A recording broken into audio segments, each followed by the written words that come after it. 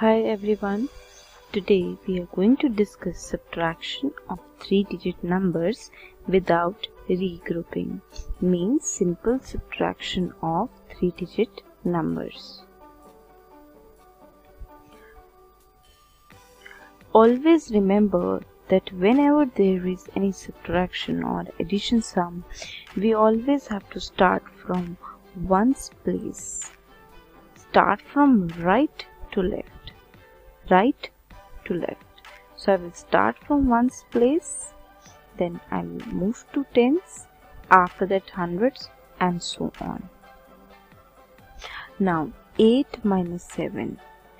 So whenever you have to do any subtraction sum, make sure that you check that the number on the top is smaller or bigger. If the number on the top is bigger than this number, then it's a simple subtraction. Otherwise if the number on the top is smaller than the number which is written downwards then it is borrowing sum. So here the number on the top is bigger. So this is why that is why this is simple subtraction. Now how you have to do simple subtraction?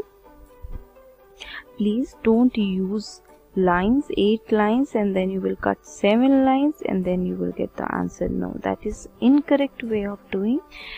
You will start from this number start counting from this number and you will count till the number which is on the top. So start from 7 and you have to count till 8 7 8 only one? So my answer is 1 next one 2 minus 1 1 here start from 2 3 4 5 6 7 8 9 count 1 2 3 4 5 6 7 7 so 7 is my answer. Now 8 minus 8 whenever the same number is subtracted so the answer is 0 now when 0 is subtracted the answer is 5 same number.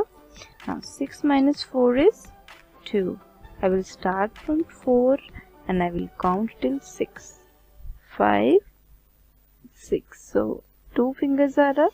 So my answer is